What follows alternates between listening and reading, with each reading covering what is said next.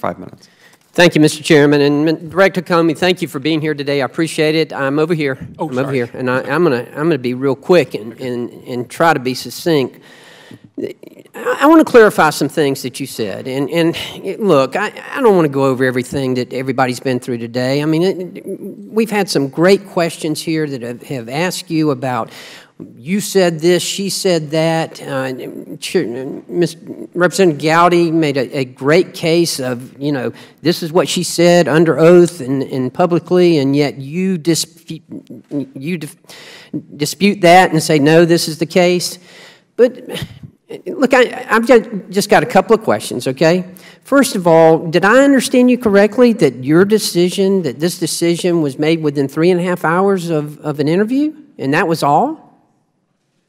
No, we investigated for a year. You investigate, but you interviewed her for three and a half hours last week and then came to the conclusion. Correct. We interviewed her on Saturday for three and a half hours, the last step in a year-long investigation. Okay.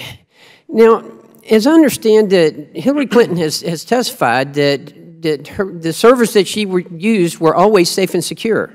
Yet you refute that and say, no, that is not the case at all. It, were they ever secure? Were, they, were the servers that she were using, were they ever secure?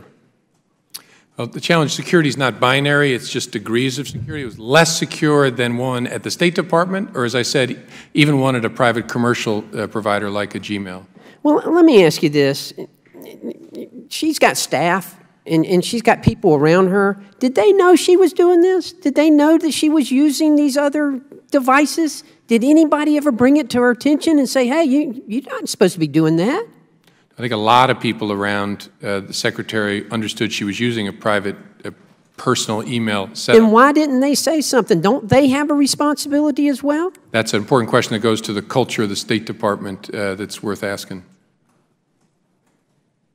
I, I, you know, I I mean, look, we all surround ourselves with good people and we depend on them to help us. I don't understand. uh, Should they be held responsible for that, for not bringing that to someone's attention? If I see someone who's breaking, who's not following protocol, is it my responsibility to report them?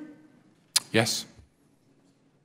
Well, I Especially certainly. when it comes to security matters, you have an obligation to report a security uh, violation that you may witness, whether it's involving you or one of your coworkers.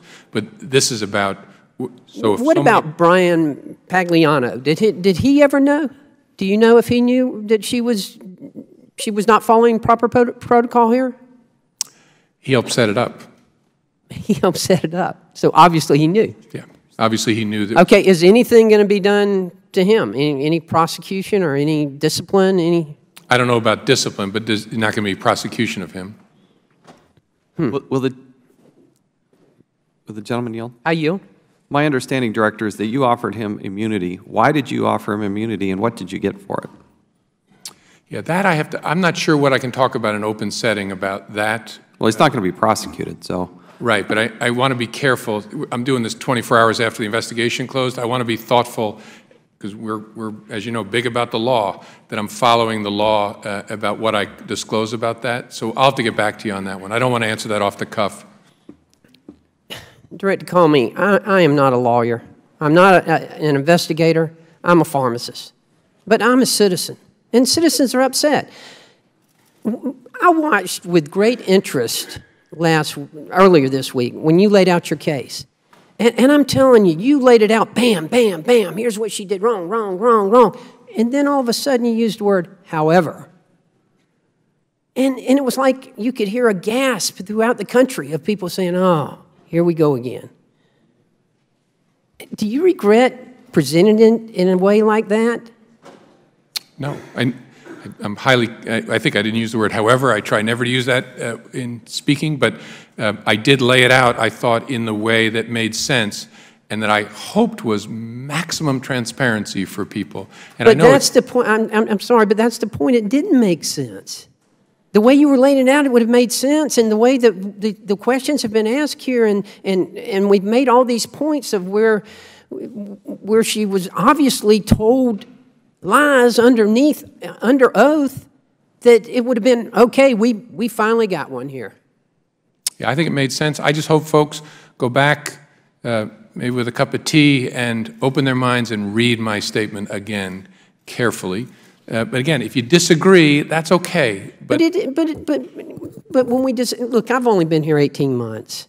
And, and I'm going to tell you, it, it, it, this inside the beltway mentality, peop, no wonder people don't trust us. Well, No, I. I have no, I don't know who you're talking about, I have no kind of inside the beltway mentality. But this is an example of what I'm talking about here. It, it, it just was, as a non lawyer, as a non investigator, it would appear to me you have got a hell of a case. Yeah, and I'm telling you, we don't, and I hope people will take the time to understand why. Mr. Chairman, I yield back. Thank the gentleman.